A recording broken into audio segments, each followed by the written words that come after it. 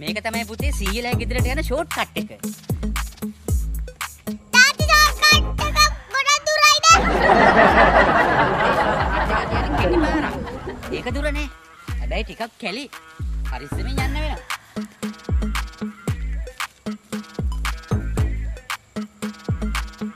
තාත්තා ඊළා ගෙදර අරන් යන්න මොනවද ගත්තේ? පැණි බෝතලයක් පුතේ. සුපිරි පැණි බෝතලයක් ගත්තා. පැණි බෝතලයක් කීයක් තාත්තා?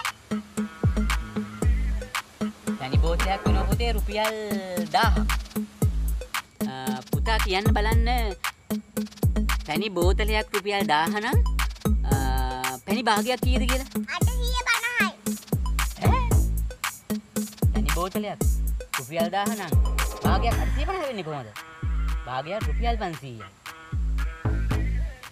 එහෙනම් තාත්තේ පුල් කොත්තුවක් රුපියල් 10 නම් හාෆ් එකක් 850 උනේ කොහමද? මුල් එකක් 1000 නම් හාෆ් එකක් 850 වුණේ කොහොමද?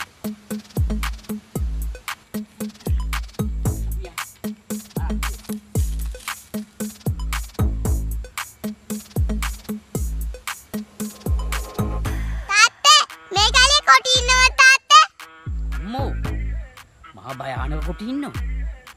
දැන් කොටියෙක් කිලෝගෙන ආවොත් පුතා මොකද කරන්නේ?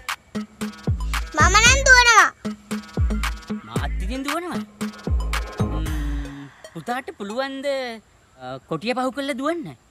මම ගොඩක් තාත්තේ කොටිය පහු කරලා දුවන්නේ. තාත්තා පහු කරලා